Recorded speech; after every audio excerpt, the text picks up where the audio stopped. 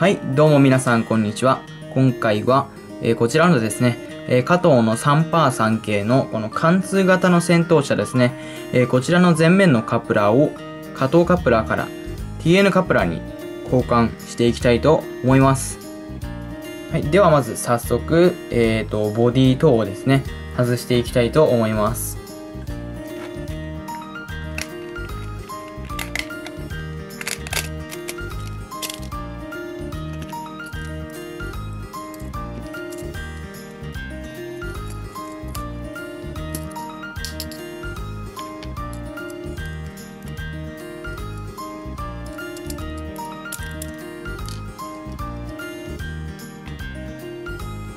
こんな感じでね、バラし終わりました。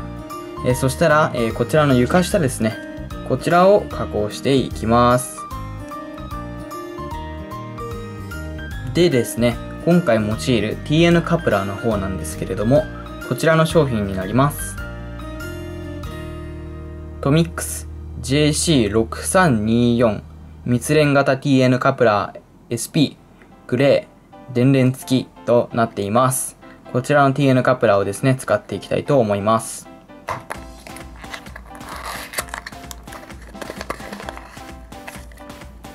はい、TN カプラー、こちらになりますね。とまずは、この両脇の部分ですね、切断していきたいと思います。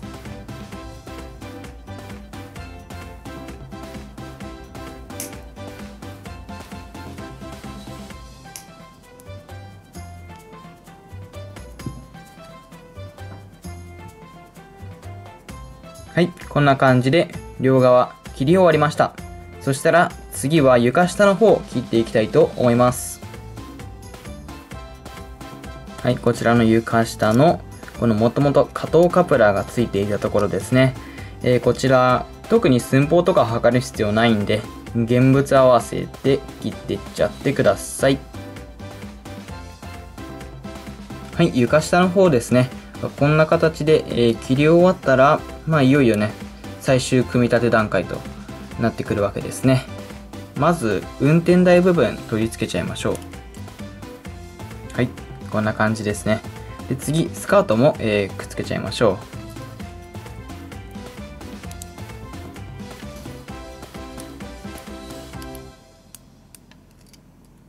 はい。で、ボディの方も取り付けていきます。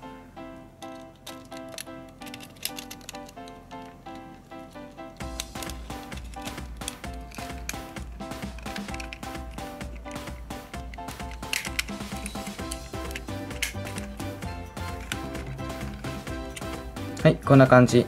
まだね、台車はつけないでください。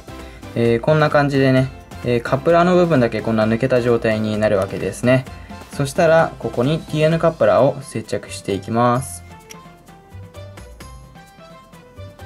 はい、こんな感じで、カプラーの側面部分にですね、かなり雑なんですけど、こんな感じで接着剤塗って、で、こう、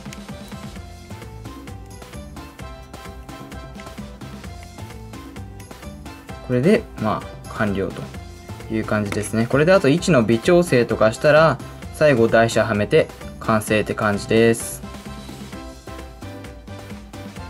はい。と、まあ、こんな感じでね、えー完成でございます。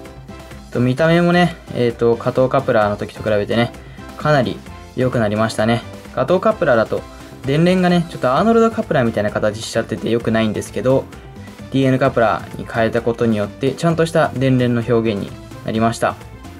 それと連結がワンタッチでできるようになるという点とあとはちょっと分かりづらいんですけど連結間隔が縮小されます。はいというわけで以上ですね。今回の動画はこんな感じで終わりたいと思います。もし参考になりましたら高評価とあとはもしよければね、チャンネル登録とかもよろしくお願いします。